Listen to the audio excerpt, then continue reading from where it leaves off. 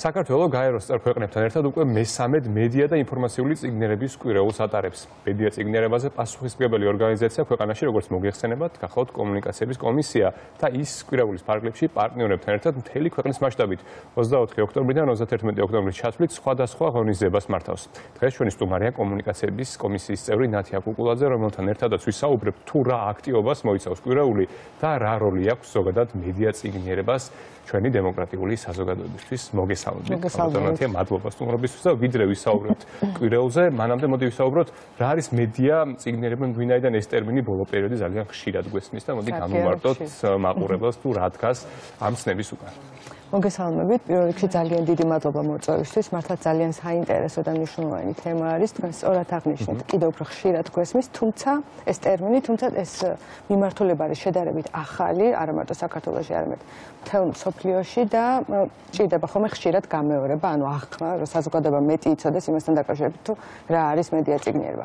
იქამდე სანამ გეტყვით უშუალოდ მედია წიგნიერება, რას გულისხმობს, პატარა შესავალს გავაკეთებ. ჩვენ ყველა ვიცით, რომ ცხოვრობ ტექნოლოგიური პროგრესის ერაში, საინფორმაციულ ერაში, ასე ვთქვათ, და მუდმივად გვიწევს შეხება ძალიან დიდი მოცულობის ინფორმაციასთან, რომელიც ძალიან სწრაფად ვრცელდება, ხო? აი, სოციალური მედია რო გავიხსენოთ და ასე შემდეგ, ციფრული მედია საერთოდ.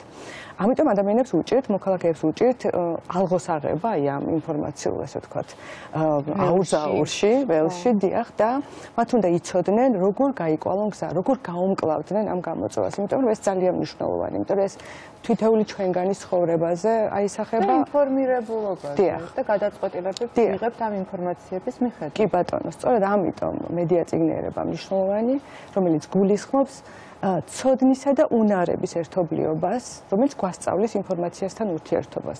როგორ მივიღოთ ინფორმაცია, როგორ გავფილტროთ, გავაანალიზოთ, კრიტიკულად შევაფასოთ, თავად გავავრცელოთ და ამასთან პასუხისმგებლობაც ავიღოთ იმაზე, რასაც ვავრცელებთ. კი, იმიტომ რომ ეს ძალიან მნიშვნელოვანია. ჩვენ ტელევიზიებს ალბათ შედარებით ნაკლებად ეხებათ, ჩვენ კაცრ კონტროლს გავდივართ და ისე ვაწვდით შედარებით უფრო კაცრ კონტროლს, მაგრამ ძალიან მარტივია ინტერნეტში ყალბი ინფორმაციის გავრცელება ისე რომ უნებურად შემთხვევით არც კი იცოდეს ეს ადამიანი. დაუნებურად ან გაზრახვით. შეეხება თუ არა ამ ცნობიერების ამაღლებას კვირეული და ზოგადად წლევანდელ კვირეულზე რომ ვისაუბრებთ. რა თქმა უნდა, შეეხება ამისთვის არის ეს კვირეული. 2 წლის წინ 2021 წლის მარტში გაერო მიიღო ახალი რეზოლუცია, სადაც ძალიან კაფიად ჩაიწერა, რომ იქიდან გამომდინარე, რომ დეзинფორმაცია, ყალბი ინფორმაცია არის ყველასთვის ძალიან დიდი გამოწვევა, საჭიროა მედია წიგნიერების კვირეულის ჩატარება ყოველი ოქტომბრის ბოლოს ანუ ბოლო კვირა და უკვე მესამედ ჩვენ გაეროს წევრ სხვა ქვეყნებთან ერთად ვატარებთ ამ ღონისძიებას, ასე ვთქვათ და მოიცავს სხვადასხვა ღონისძიებას თვითონ ეს ერთიანად რო დავარქვათ ამას ღონისძიება კვირეულს, ხო? აა მესამედ ვატარებთ წელს წელს უფრო განსხვავებული, უფრო მრავალფეროვანი პროგრამა შევთავაზეთ, ესე ვთქვათ და გქონდა უკვე სხვადასხვა ღონისძიება, ეს იყო სკოლებში მედია წიგნიერების დღე, იმიტომ რომ ეს ეს მომავალი თაობა არის ძალიან მნიშვნელოვანი, ანუ ჩვენ ერთ-ერთი სამიზნე აუდიტორია არის მოსწავლე, მოსწავლეები არიან. გქონდა ძალიან საინტერესო კონკურსები, რომელსაც რომელი ჰაკათონი, რომელიც მედია ლაბში ჩატარდა, გქონდა პირველი გახსნა განათლებისა და მეცნიერების სამინისტროში, რომელიც დავიწყეთ ძალიან მნიშვნელოვანი თემით, ეს იყო პირველი დღე მკვირეულის.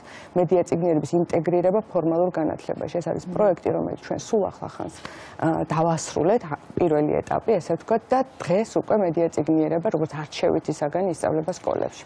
ეს ისეთი შედეგია, რომელიც ჩვენ საერთაშორისო პარტნიორებთან ძალიან უკვით და ხო კვაკებენ ხომ დიახ ლაპარაკობთ fake news-ებზე ანუ ძრუ ამბებზე რომელიც ვრცელდება საზოგადოებაში და დედაჩემი მიწყენს ზანხშირად მიგზავნის მსგავს ინფორმაციას ადრე მეგონა რომ აი მხოლოდ უფროს თაობას ეშლებოდა და ვერ ანსხვავებდა ძრუ ინფორმაციას ნამდვილი ინფორმაციის სანდო წყაროებს ვერ ანსხვავებდა ახლა მივხვდი რომ აი TikTok-ის და სხვადასხვა სოციალური პლატფორმის გამოჩენასთან ერთად ბავშვებიც რომელზეც ახლა თქვენ ლაპარაკობთ ბავშვებიც არიან ამის მსხვერპლი. მაინტერესებს სტატისტიკა თუ არსებობს აი როგორ არის ბავშვებში უფრო გავ გავრცელებულია ეს თრო ინფორმაციები უფროსებში თუ აი რა სტატისტიკა და მონაცემები გვაქვს ვის უფრო მეტად ეხება ეს პრობლემა? იცით რა შეიძლება ჩატარდეს ასეთი კვლევა რაოდენობრივ კვლევას გულისხმობ თორე თვის თორემ თვისებრივ თვისებრივ ნაწილში ძალიან ცხადია. თქვენ მართალი თქვით უფროს თაობას ძალიან უჭირს მეც მეუბნება დედა ჩემი ასეთ რაღაცებს ხშირად თუ იქ ნახე. მათ შორის აი ტელევიზორში თქვენს და რაღაც შეიძლება ნახევრად სიმართლე იყოს ხო? ყალბი ინფორმაცია ბევრნაირი არსებობს უფროს თაობას უფრო მეტად უჭირს უჭირთ იმ იმიტომ რომ მათ უფრო უჭირთ აი ეს ლავირება, ესე ვთქვათ, ციფრულ სამყაროში. ან გადამოწმება ხო? გადამოწმება. კვირეულსო მიუბრუნდეთ, ხო, აი ხვალ არის დასკვნითი დღე.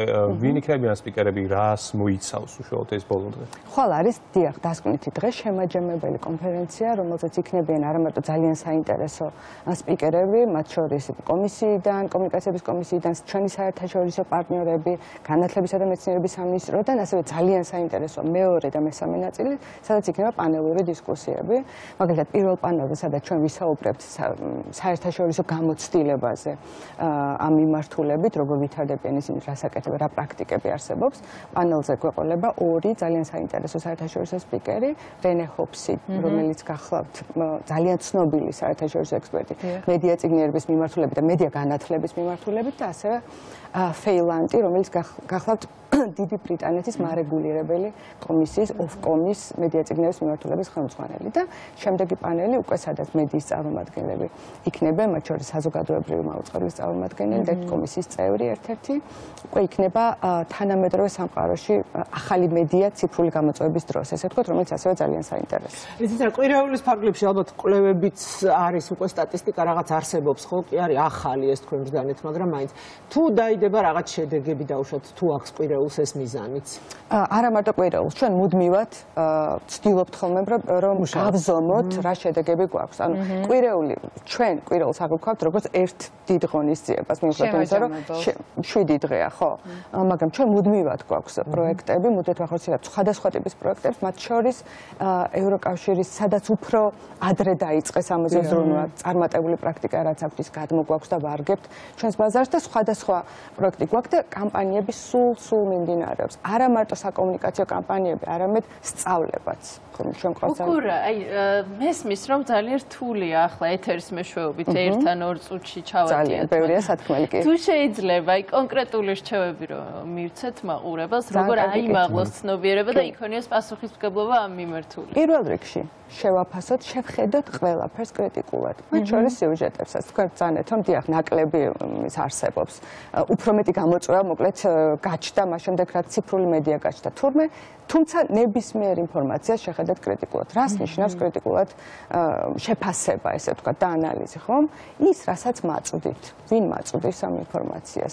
ვინ პოსტავს? ან ხო, ან ვინ საუბრობს ამაზე? ვინ არის ავტორი? რა განზრახვა შეიძლება იყოს იმის უკან? ისეთი თუ ასეთი.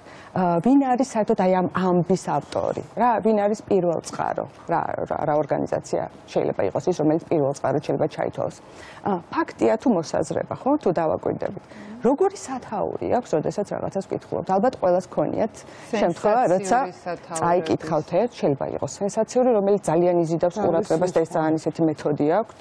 ყალბი ინფორმაციის მსგავსი არ წერია უკვე უშუალოდ სტატიაში ვერც შეედავე. ზუსტად ასეა ასევე ციტატა ხო? შეიძლება იყოს საერთოდ გამგონილი ციტატა შეიძლება იყოს მოჭრილი ან კონტექსტიდან. ამოგლეჯილი ციტატა.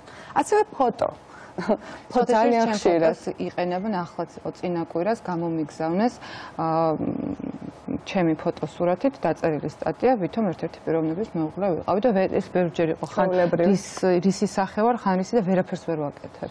განსაკუთრებით ფეიქნიუსები ვრცელდება ხოლმე ცნობილ ადამიანებზე, ის ადამიანებზე, ისეთ ადამიანებზე, რომლებიც მეტად აინტერესებს საზოგადოებას, პოლიტიკურ ამბებზე, განსაკუთრებით აი ძვინვარებს ხოლმე, როდესაც არის მნიშვნელოვანი რაღაც თელ სოფლიოში, მაგალითად პანდემიის დროს, ვაქცინაციის შესახებ თქვენ გახსოვთ. და იმ ნაძის კომენტარიც გვახსოვს. ხო, გახსოვთ. დედის პოსტი. კი, კი,